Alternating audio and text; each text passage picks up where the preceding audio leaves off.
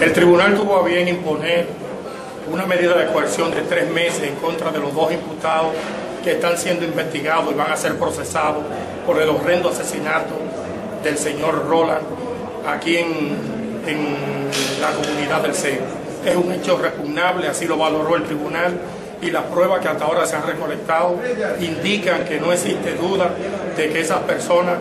una vez se proceda a la acusación, van a sufrir la pena máxima de 30 años. Se ocupó un arma, se ocupó el celular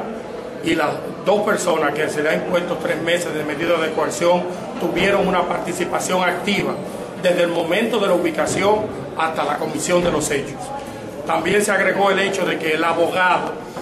que le fue sustraída su pistola con la que le dieron muerte se ha querellado y se constituyó en actor civil.